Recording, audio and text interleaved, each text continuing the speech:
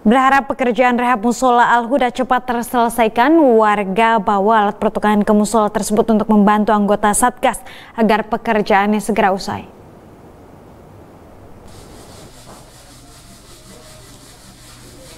Warga membawa alat pertukangan miliknya untuk membantu TNI dalam pekerjaan di Musola Al-Huda RT 3 RW 5 Dusun Sarimulyo Desa Ketapang, Kecamatan Susukan, Kabupaten Semarang.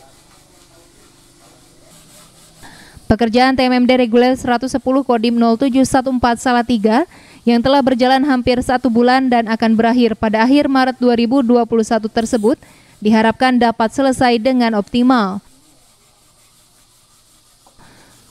Untuk optimalisasi, warga setempat pun ikut memaksimalkan waktu yang masih tersisa.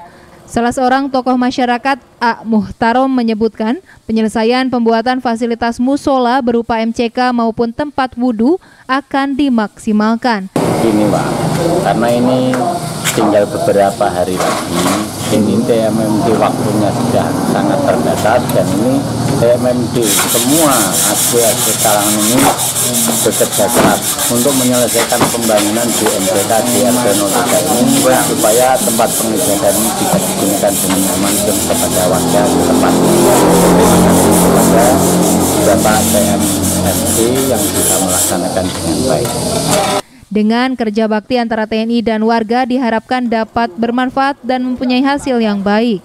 Selain itu, dengan kehadiran fasilitas yang diprogramkan di TMMD reguler 110 Kodim Salatiga ini, dapat menunjang kenyamanan bagi jamaah saat akan beribadah di musola tersebut. Tim Liputan, Bandung TV